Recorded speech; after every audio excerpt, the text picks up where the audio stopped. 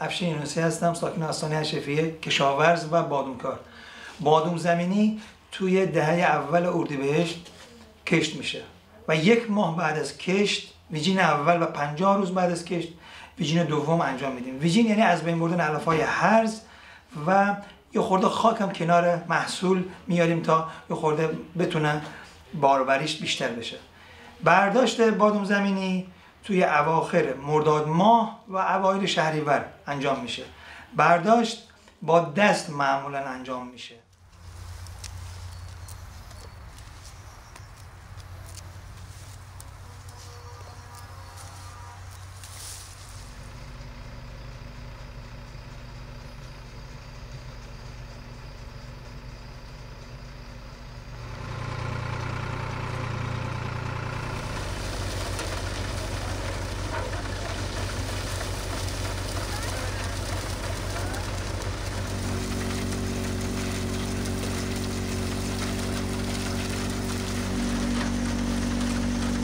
ولی اخیرا یه سری آمدن با دستگاه اینو برداشت می‌کنن.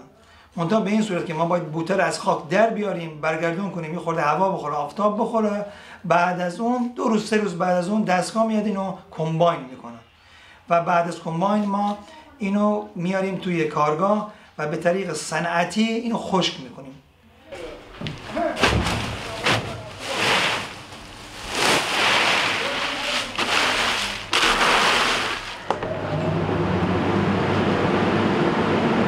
بعد از خوش کردن میره برای غلاف شکنی و بوجاری بعد از اون خانما میان روی میز اینو پاک می‌کنن میره برای کوره برشته شدن. و بعد از برشته هم خنک میشه و ما بسته‌بندی می‌کنیم.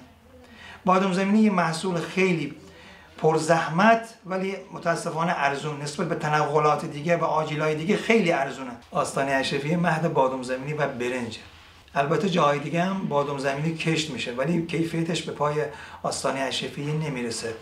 بادوم های خارجی هم میاد چینی ازبک عراقی میاد. اونا باعث میشه که کیفیت محصول ما پایین نیاد. ولی قیمت ما خیلی نوسان پیدا می‌کنه نسبت به اون بادومایی که وارد بازار میشه. خیلی تنزل پیدا می‌کنه.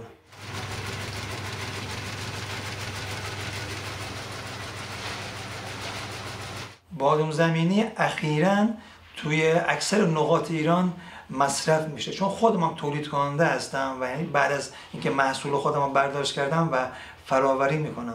اکثر نقاط ایران الان خودشون مصرف کننده بادوم زمینی هستن. قبلا فقط تهران اردبیل قزوین مثلا ما بادوم میفرستادیم.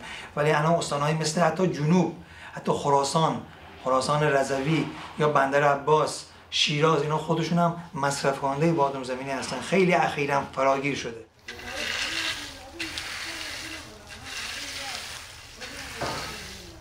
از مسئولین انتظار داریم که ما رو حمایت کنن. خود از بابت ماشینالات بیشتر وارد کنن و صادرات بادوم زمینی رو کشورهای حوزه حوزه خلیج فارس ما بتونیم صادرات داشته باشیم. به آسیای میانه بتونیم صادرات داشته باشیم و واردات محصول همین بادوم زمینی خود کم کنن. اخیرا بادوم خارجی مثل چینی و حتی هندی، عراقی، ازبک اینا وارد بازار میشه و قیمت محصولات ما خود افت پیدا می‌کنه تنزل پیدا می‌کنه.